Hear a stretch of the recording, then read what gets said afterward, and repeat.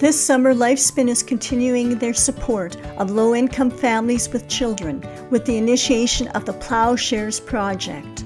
Since 1994, Lifespin has been offering a free day camp program, Pocket Size Farms, to teach young children about environmental protection, organic food production, literacy, and building community.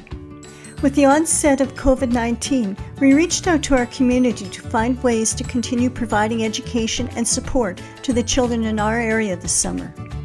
With the PloughShares Project, you can register your child on the Lifespin website.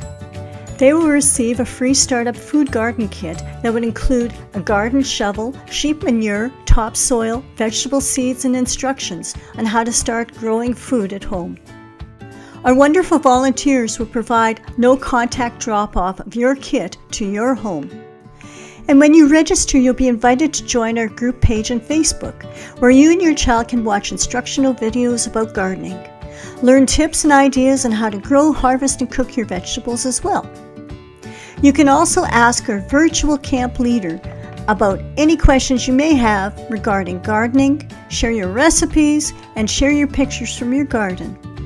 So join in the fun this summer and register your child in the PloughShares Project at Lifespin.